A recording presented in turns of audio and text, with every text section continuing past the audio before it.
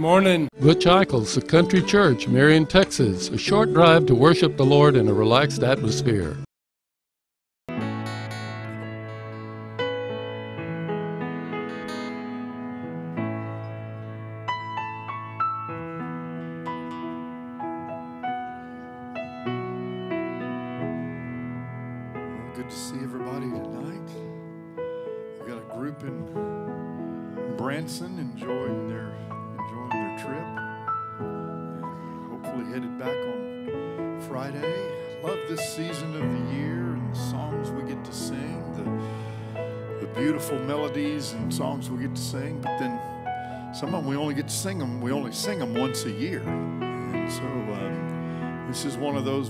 sing once a year, so it may take just a minute to, to catch this one again, but, uh, but you'll get it. Um, so let's stand together and uh, worship the Lord together, all right?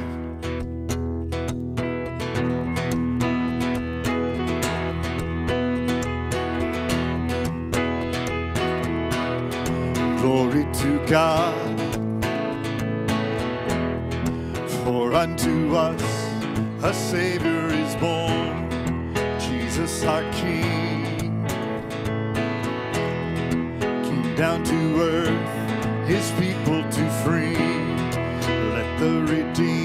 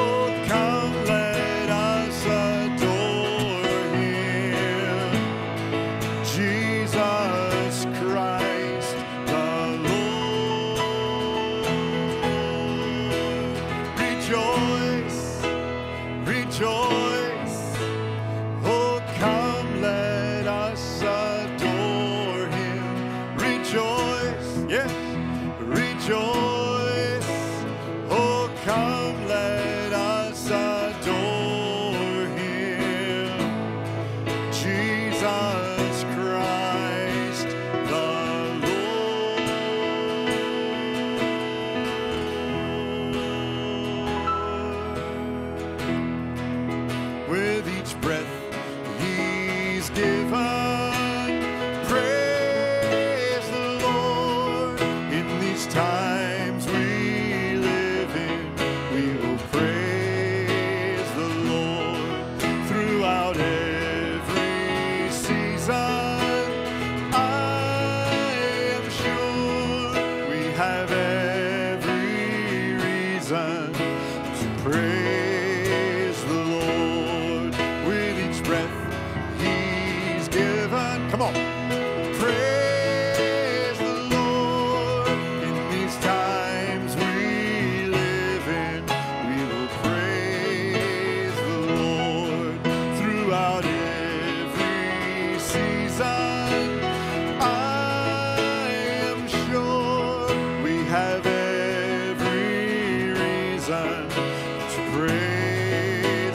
sing it out. Come on. With each breath he's given, praise the Lord. In these times we live in, we will praise the Lord with every season. I am sure we have.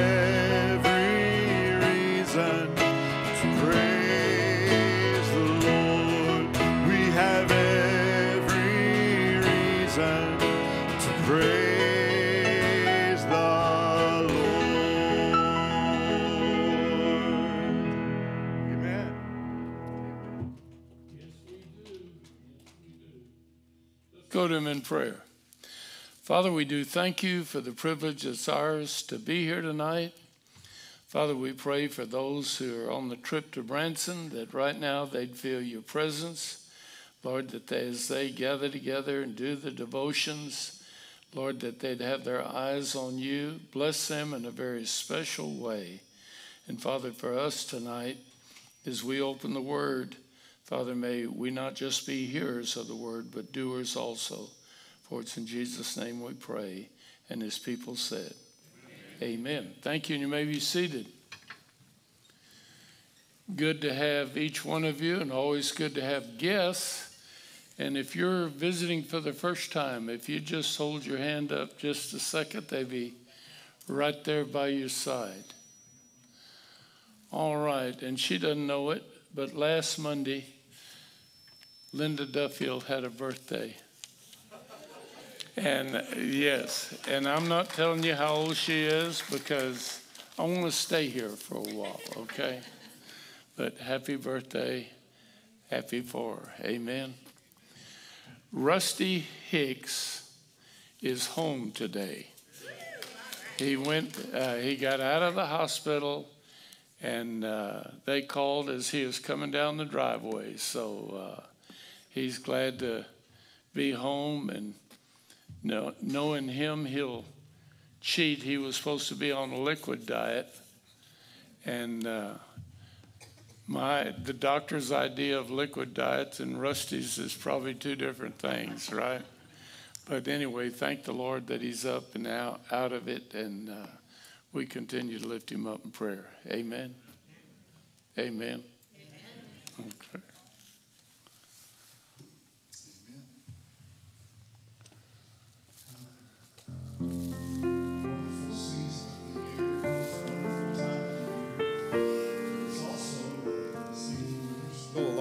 Lot. I watched a news report about the near about 200 hostages that are still in Gaza that have not been released. Um, uncertainty in what's happening in the war in Ukraine. And uh, Walker Moore's son, Caleb Moore, just got back from there. Went to went to Ukraine and was preparing to go back in 2024.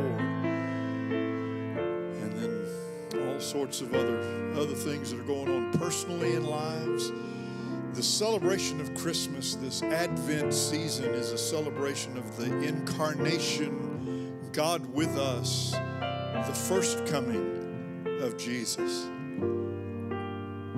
But there is a second Advent coming. And so, as we sing these songs in celebration of the first Advent, we do so with faith that He will come again. Maranatha, we, we move to Maranatha in the midst of this season because He is coming again. And so, as we sing this, let's sing it with gratitude in our heart for what He has done, but confidence in, in our heart as to what He will do. As we prepare to receive the word tonight, let's sing this together. Come, thou long expected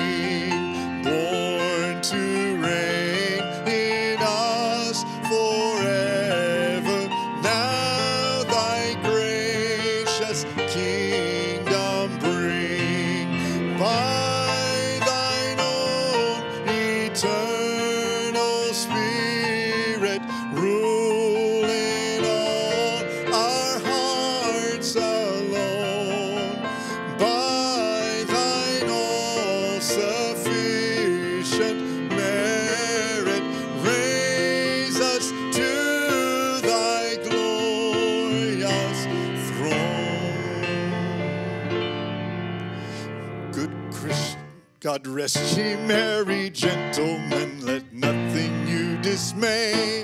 Remember Christ our Savior was born on Christmas Day to save us all from Satan's power when we were gone astray. Oh, tidings of comfort and joy, comfort and joy. Oh, tidings of comfort and joy.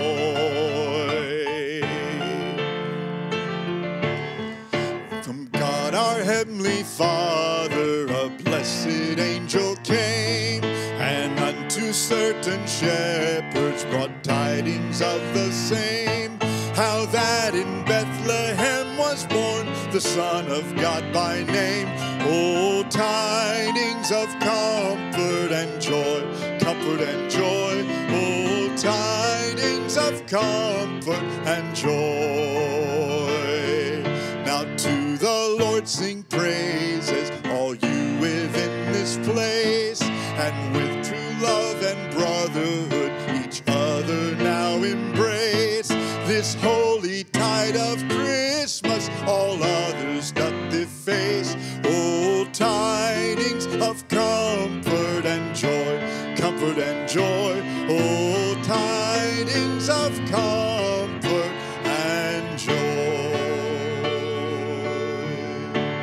Worthy is the Lamb who was slain.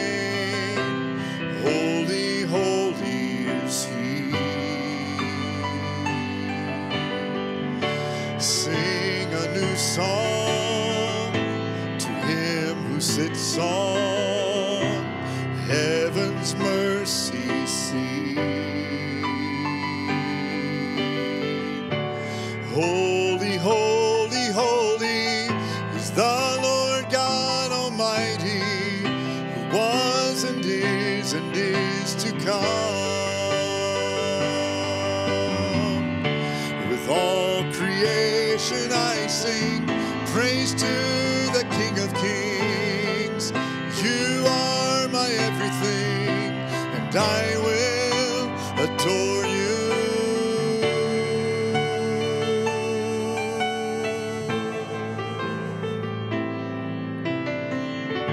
Clothed in rainbows of living color, flashes of lightning, rolls of thunder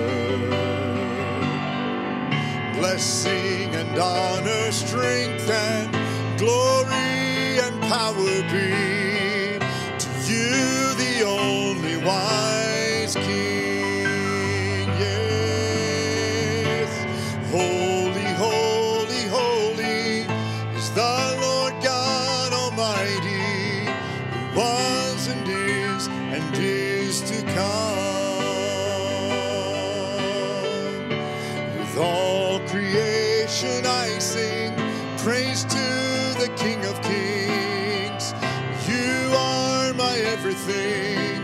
And I will adore you.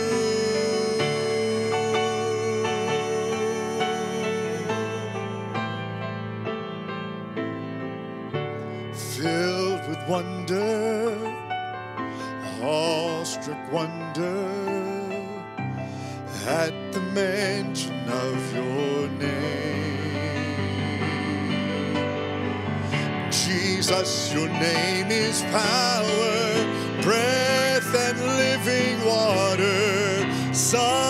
A marvelous mystery. Oh, holy, holy, holy, the Lord God Almighty, who was and is and is to come. With all creation, with all creation I sing praise to the King of Kings. My everything, and I will adore you. Holy, holy, holy is the Lord God Almighty, who was and is and is to come. With all creation I sing praise to the King of Kings. Everything, and I will adore you.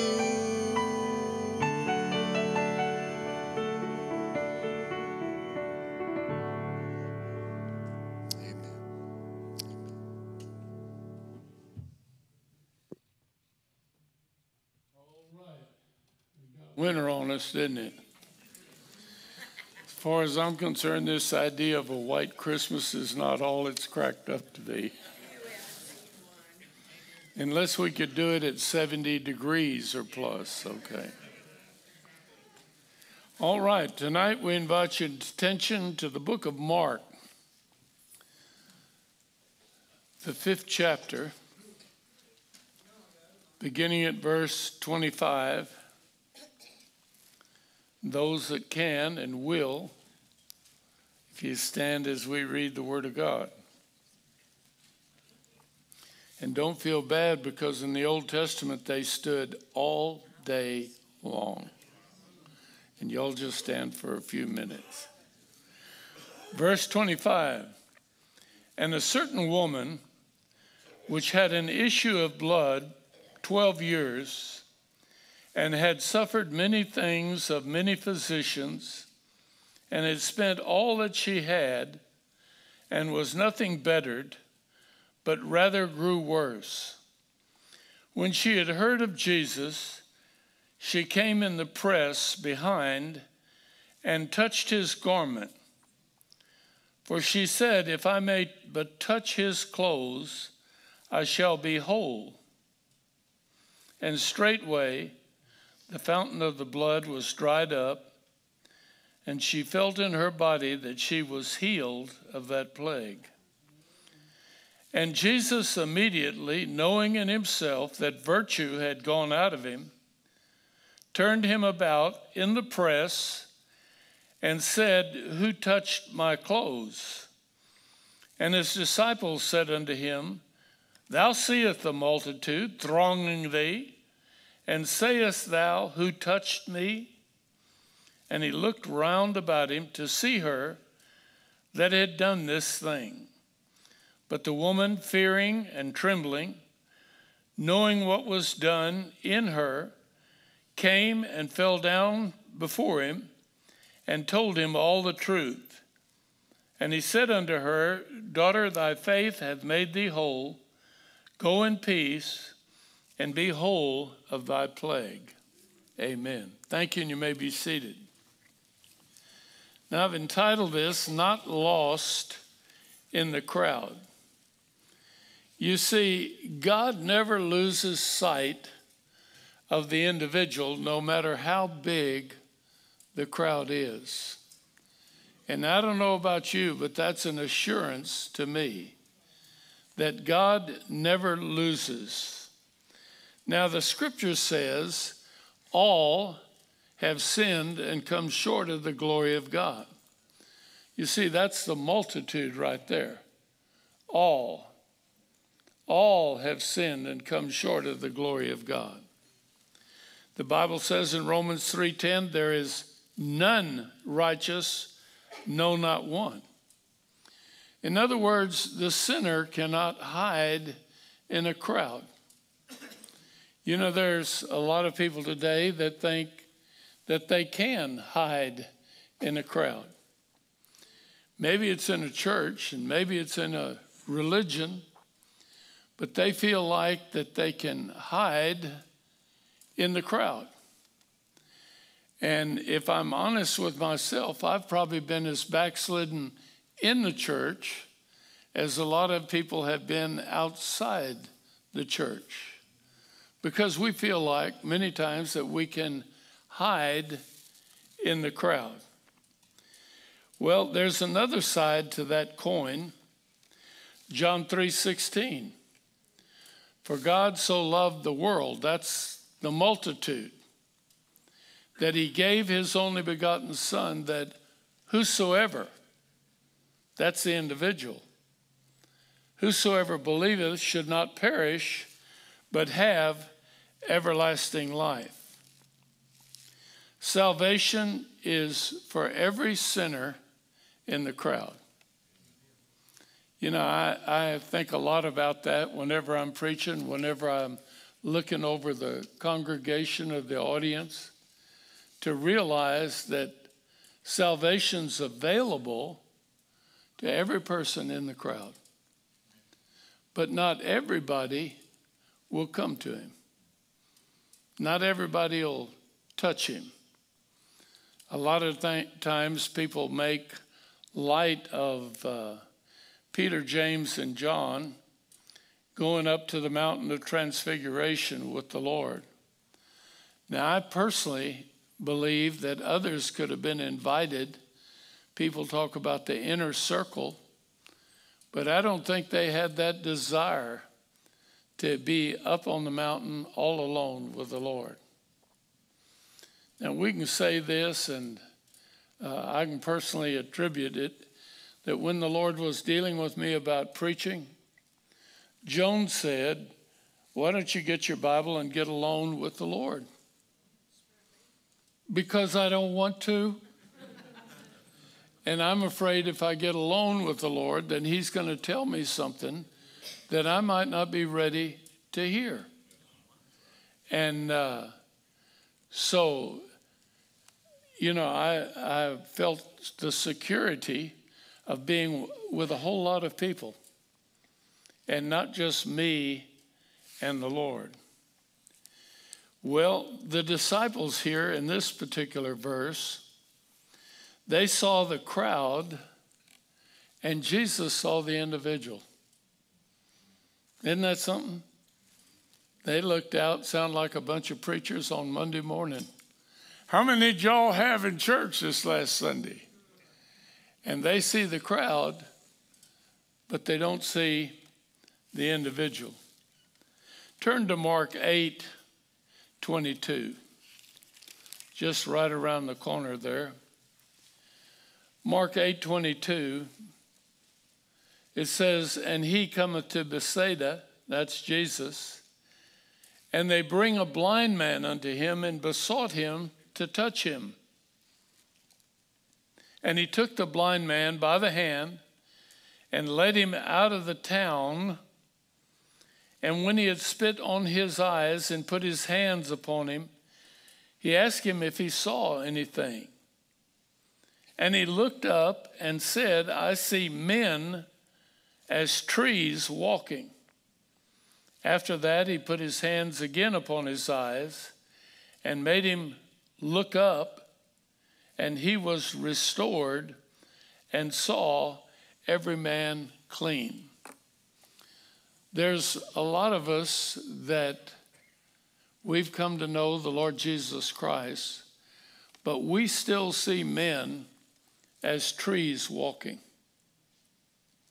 We don't see them personally, individually. We see them as trees that are walking. And we need a touch from the Lord Jesus Christ that would open our eyes, that we'd see people exactly like they're at, like they are, exactly where they're at. And sometimes we don't know who those individuals are. Joan and I love our gospel coins, and we hand them out in various places wherever we go. And Joan told me sometimes I think I'm going to give it to this person or that person, and somebody else comes up. And it may have not been the person that she was looking forward to, but it's the one that God was looking forward to. Well, the multitude thronged him. And the woman touched him. There's a difference between thronging the Lord and touching the Lord. Can you imagine the disciples when Jesus said, Somebody touched me, for I felt virtue go out of me? And they looked around and said, Somebody touched you? I mean, look where we're at. Look at all the people that are here. But you know, the Lord can tell when somebody touches him in a desire to get a hold of him, in a desire to know him better, in a desire to be healed, in a desire to be saved. They ought to write a song, Somebody Touched Me. That'd be a good one.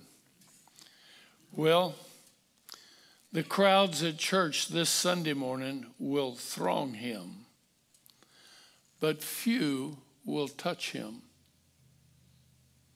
Let that soak in just a minute. There, everybody that comes in will have some kind of desire to be in the Lord's house and to participate and to throng him but not many will touch him.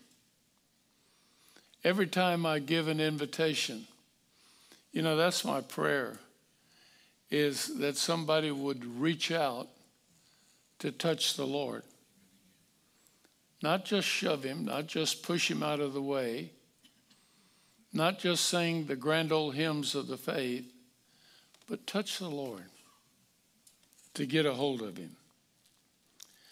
Well, the crowd will throng him, but few will touch him. Now, it's interesting that God will deal with people one at a time. One at a time. In verse 30 of our text, and Jesus immediately knowing in himself that virtue had gone out of him, turned him about in the press and said, Who touched my clothes? God deals with us one at a time. And you know, it's a wonderful thing. That's how much He cares for us. Not just with a broad brush, but He cares about me and He cares about you. And the Bible says, Him that will come to me, Jesus is speaking, for I will in no wise cast out. People say, Do I have to walk that aisle to be saved? No, you don't. You can be saved right where you're at. But there's something wrong if you don't want to let everybody know it and walk that aisle and give your heart and life to the Lord Jesus Christ. Whosoever will may come. Jesus said, If any man thirst, let him come. There's got to be that hunger, there's got to be that thirst in an individual's life before they'll ever come to the Lord. And I can stand here, and Dave can stand here, and we can go till there's not another breath in it. But unless the Holy Spirit of God touches them, they'll not come. Except the Spirit draw them, the scripture says, they'll not come. So, what do we need to do every Lord's Day, every Wednesday night? is pray that the Holy Spirit has access to every heart and every life and to pray, Lord, let them come. Let them come.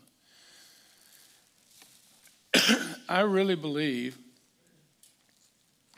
and I've believed this for years, that if on any given Sunday all of us were in one accord and all of us were prayed up and praying for God's Holy Spirit to move in our midst, I personally don't believe a lost person could sit there and sit still.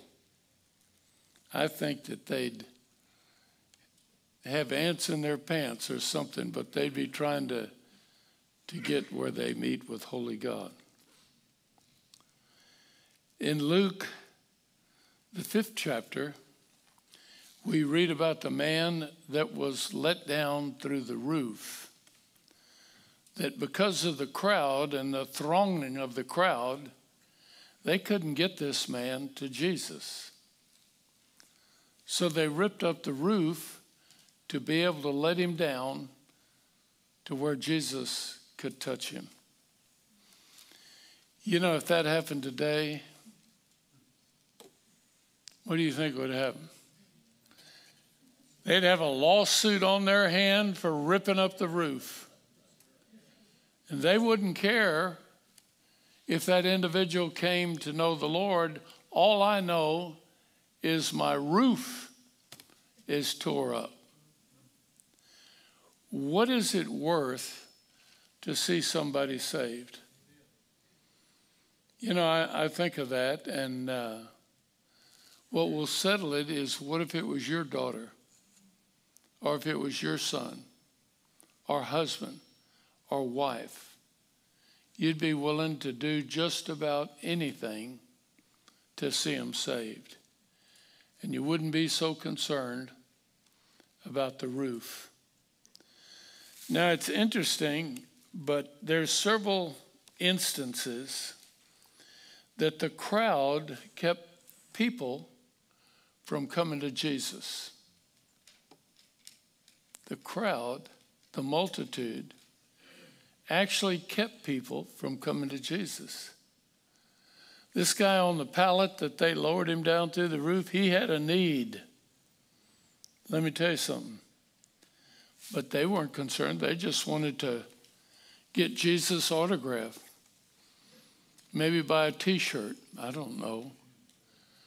But uh, there wasn't that concern for the lost. We have to guard against that. We have to be careful that we don't minimize the lostness of man.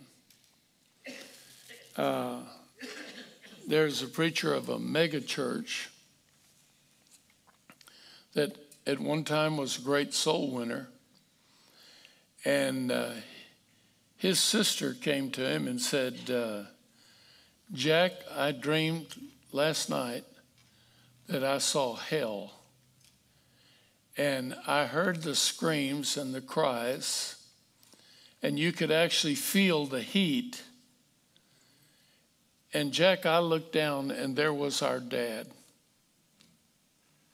And I think, you know, like the song says, roll back the curtain of memory now and then and show me where you've brought me from and where I could have been. And I believe it does us good to roll back the curtain of memory now and then and to see where you would be tonight if you didn't know the Lord Jesus Christ as your Savior.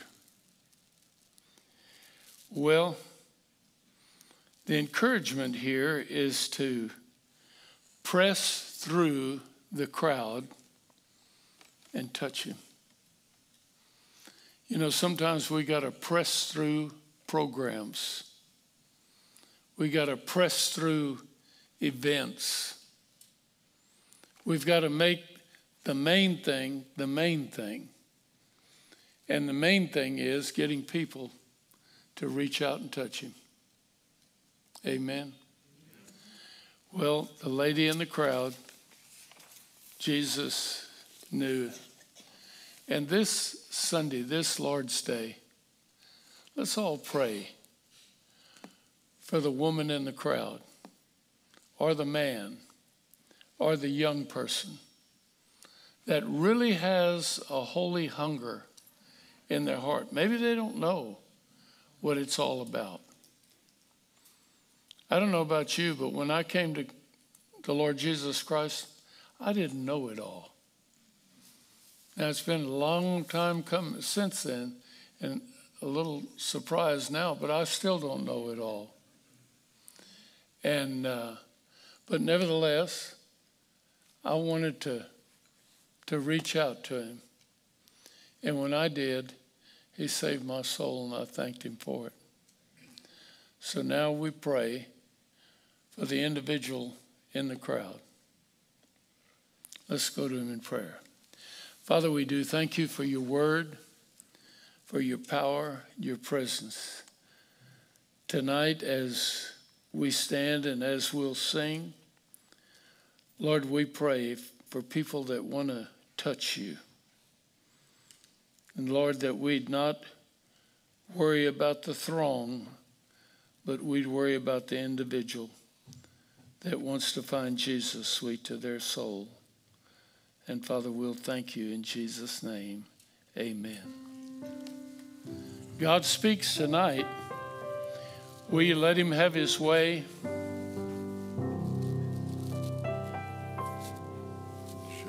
Just as I am without one plea, God's spoken to your heart. He's told you what you need to do. and that thou bidst me come Lord, to thee, I'm coming to you.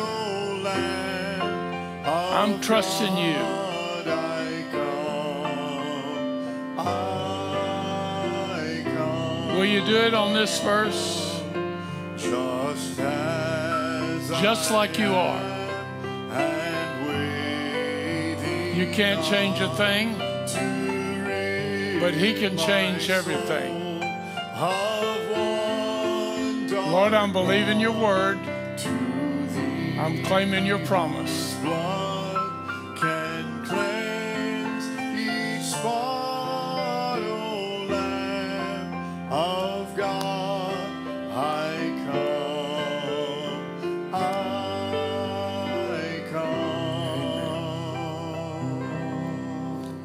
Mark, how about you coming and dismissing us?